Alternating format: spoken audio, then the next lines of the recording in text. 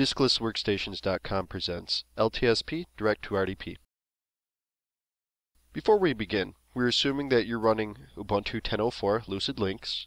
LTSP is up and running, and you can boot a thin client. Windows Server is at least 2003, and the LTSP thin clients and Windows Server are routable. If you have any questions, contact DisklessWorkstations.com. Email support at DisklessWorkstations.com. Call 888 359 5877. You may recognize this as a normal LTSP login screen. We're going to make changes in order to get this to boot to a Windows RDP server. To start, we want to open Terminal by going to Applications, Accessories, Terminal. In Terminal, we're going to sudo bash to access root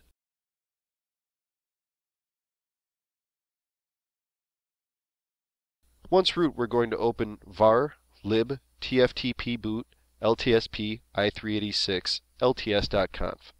The lts.conf does not exist by default, so we're going to have to create it as a new file.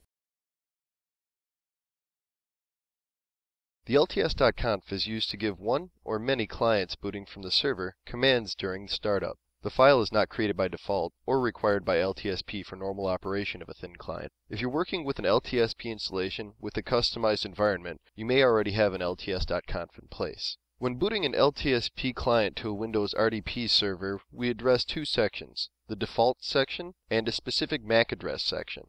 Any variable declarations underneath the default section apply to all client devices booting from the specific LTSP server. If you wish to make client-specific rules, you can do this by using the client's MAC address in place of the default section. The MAC address section is used the same as the default section, but the header contains the client's MAC address. Please note, any MAC address specific entries will override the specifications in the default section. We begin by declaring the default section.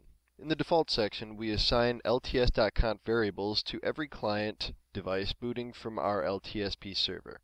First, we declare the screen underscore 07 variable.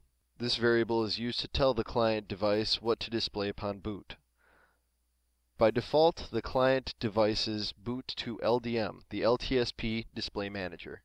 When specifying rdesktop, the client device boots into the rdesktop client, which enables a login to the Windows Terminal server.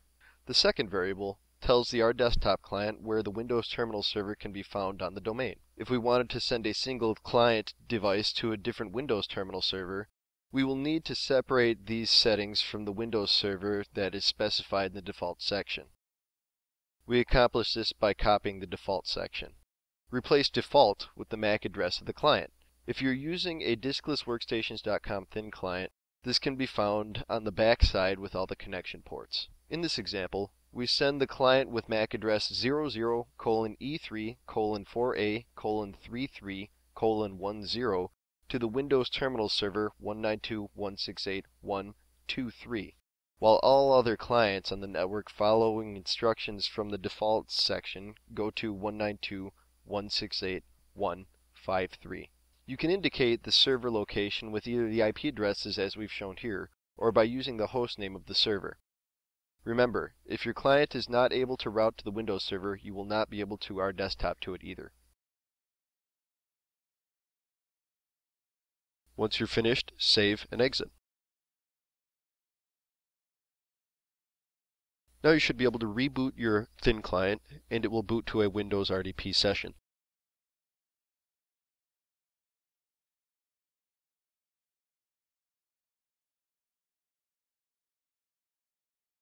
Good job. You're all done.